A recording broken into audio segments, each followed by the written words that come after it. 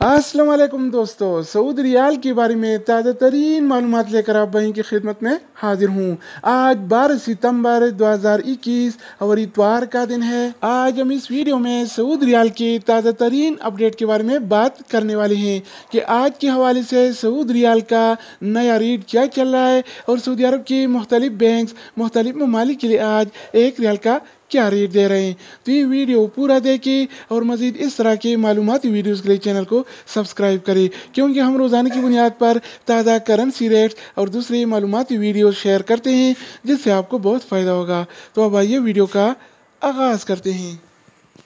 तो आज हम शुरुआत इमजाज बैंक से करेंगे। तो इमजाज बैंक पाकिस्तान के लिए एक रियल का रेट देता है चवालीस रुपये सत्ताईस पैसे का, इंडिया के लिए उन्नीस रुपये उनतालीस पैसे, बांग्लादेश के लिए बाईस टक्का पैंतीस पैसे और नेपाल के लिए रेट देता है इकतीस रुपये पैंतालीस पैसे का।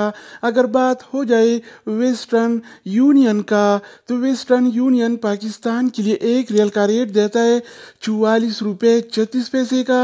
इंडिया के लिए उन्नीस रुपये अड़तीस पैसे। बांग्लादेश के लिए बाईस टका इक्यावन पैसे। और नेपाल के लिए रेट देता है इकतीस रुपये अट्ठारह पैसे का। इसके अलावा हम बात करने वाले हैं मनी ग्राम के बारे में। तो मनी ग्राम पाकिस्तान के लिए एक रियल का रेट देता है चौवालीस रुपये सत्रह पैसे का। इंडिया के लिए उन्नीस रुपये चौंतीस पैसे। बांग्लादेश के लिए बाईस टका उनतालीस पैसे। और नेपाल के लिए रेट देता है इकतीस रुपये उनतीस पैसे का। अगर हम बात करें एक्सप्रेस मनी के बारे में तो एक्सप्रेस मनी पाकिस्तान के लिए एक रियल का रेट देता है चवालीस रुपये पाँच पैसे का।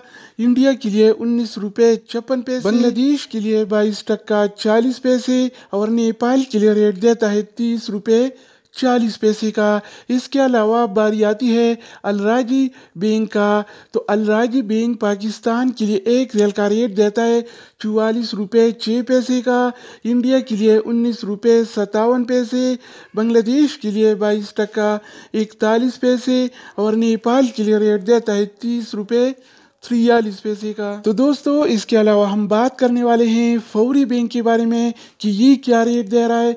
तो फौरी बैंक पाकिस्तान के लिए एक रियल का रेट देता है चौवालीस रुपये सात पैसे का, इंडिया के लिए उन्नीस रुपये अड़तीस पैसे, बांग्लादेश के लिए बाईस टका तीस पैसे और नेपाल के लिए रेट देता है इकतीस रुपये नौ पैसे का। अगर बात हो जाए ए एन बी टेलीमनी का तो ए एन बी टेलीमनी पाकिस्तान के लिए एक रेल का रेट देता है चौवालीस रुपये दस पैसे का, इंडिया के लिए उन्नीस रुपये उनतालीस पैसे, बांग्लादेश के लिए बाईस टका पैंतीस पैसे, और नेपाल के लिए रेट देता है तीस रुपये सत्तर पैसे का। अगर हम बात करें इन सी बी क्विक पे के बारे में तो इन सी बी क्विक पे पाकिस्तान के लिए एक रियल का रेट देता है चौवालीस रुपये नौ पैसे का, इंडिया के लिए उन्नीस रुपये पच्चीस पैसे, बांग्लादेश के लिए बाईस टक्का बत्तीस पैसे, और नेपाल के लिए रेट देता है तीस रुपये छिहत्तर पैसे का इसके अलावा बारी आती है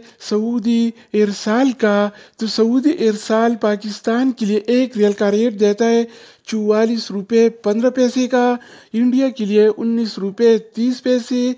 बांग्लादेश के लिए बाईस टका तीस पैसे। और नेपाल के लिए रेट देता है तीस रुपये सत्तर पैसे का। अगर बात हो जाए रियाद बैंक का तो रियाद बैंक पाकिस्तान के लिए एक रियल का रेट देता है चौवालीस रुपये सत्ताईस पैसे का। इंडिया के लिए उन्नीस रुपये सैंतीस पैसे। तो दोस्तों, इसके अलावा हम बात करने वाले हैं इस टी सी पे के बारे में कि ये क्या रेट दे रहा है। तो इस टी सी पे पाकिस्तान के लिए एक रियल का रेट देता है चौवालीस रुपये छत्तीस पैसे का। इंडिया के लिए उन्नीस रुपये अट्ठतीस पैसे। बांग्लादेश के लिए बाईस टक्का, इक्यावन पैसे और नेपाल के लिए रेट देता है इकतीस रुपये अट्ठारह पैसे का।